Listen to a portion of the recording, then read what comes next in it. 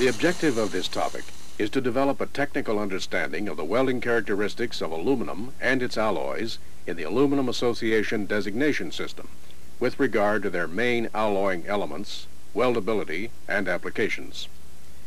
You will find that it is important to become familiar with aluminum because of its unusual properties and different welding requirements, and because it is used widely throughout the manufacturing industry.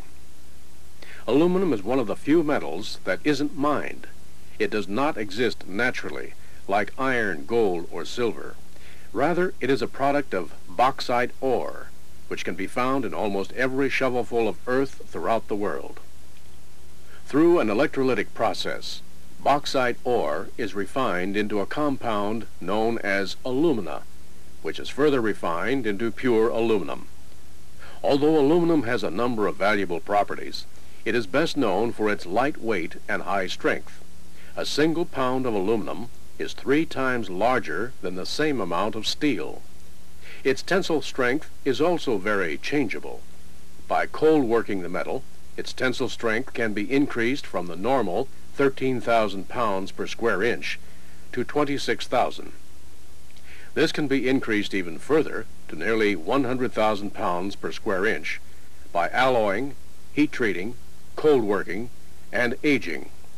Metals commonly alloyed with aluminum are magnesium, manganese, zinc, copper, and silicon.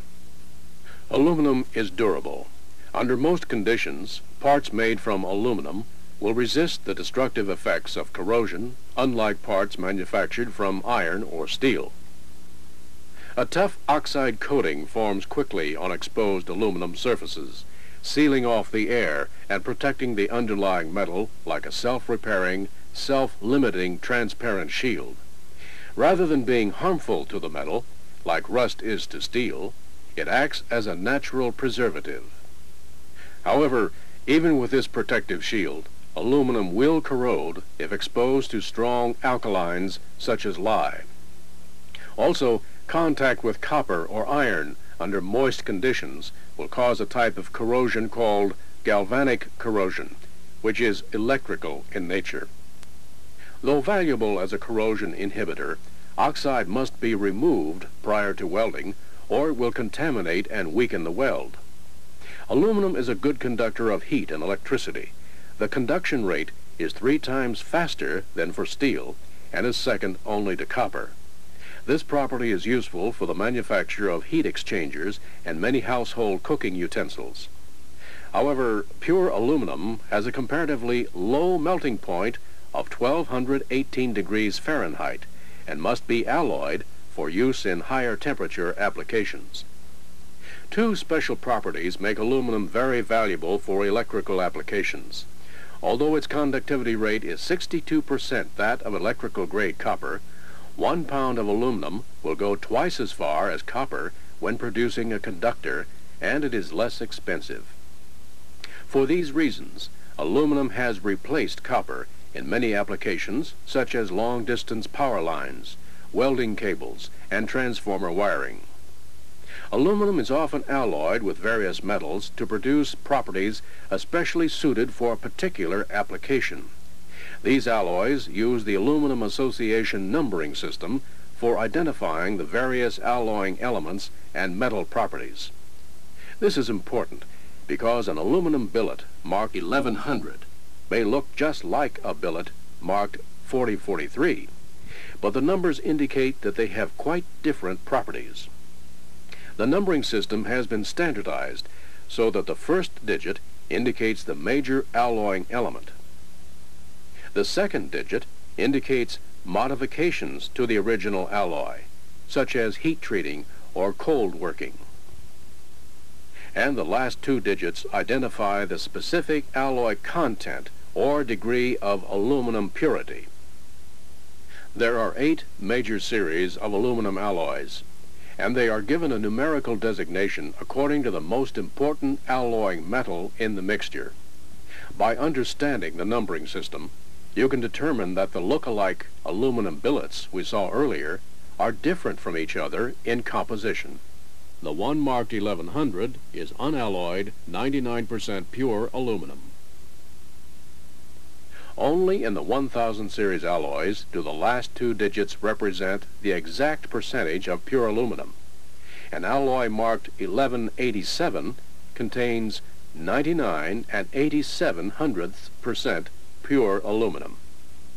The billet marked 4043 is aluminum alloyed with silicon. The last two digits indicate the alloying element and not the percentage of aluminum. Since aluminum can be manufactured in a variety of strengths, a standardized system of suffixes are added to the end of the four-digit classification to represent the strength of the material. An O suffix indicates an alloy in the annealed state, which is the softest temper. An F suffix means that the material has not received any additional strengthening other than work hardening during its original manufacture. Aluminum with an H suffix are non-heat treatable alloys and are strengthened by strain hardening or cold working. On the other hand, T suffix alloys are heat treatable in order to increase hardness or other properties as desired. The eight major aluminum alloy series are generally divided into two groups heat treatables and non-heat treatables. Those alloys which cannot be heat treated for extra strength are the 1000, 3000, 4000, and 5000 series.